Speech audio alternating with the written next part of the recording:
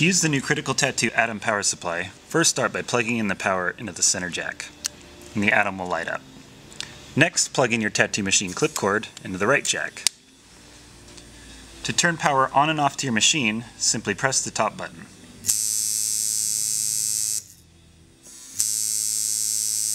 To adjust the voltage to your machine, turn the knob clockwise to increase voltage and counterclockwise to decrease voltage.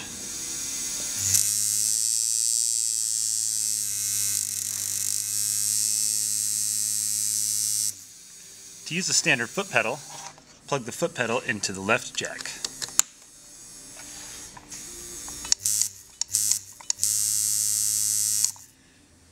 To put the power supply into maintain mode, press and hold the center knob until the first light blinks.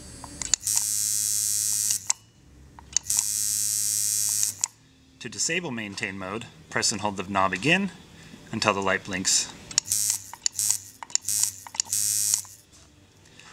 For those of you using rotary tattoo machines, you can enable our jumpstart feature by pressing and holding the center knob until the second light blinks to indicate that it is in jumpstart mode. To disable this mode, press and hold the center knob until the second light blinks again to indicate jump start mode is disabled.